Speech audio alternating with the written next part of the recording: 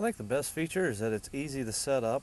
There's no do it this way, do it that way. You set up, put your shaft on the plane, and just stroke it. You can do whatever. The putter head can do whatever it wants. It's naturally going to open and it's naturally going to close, but you don't have to do anything other than just make a stroke.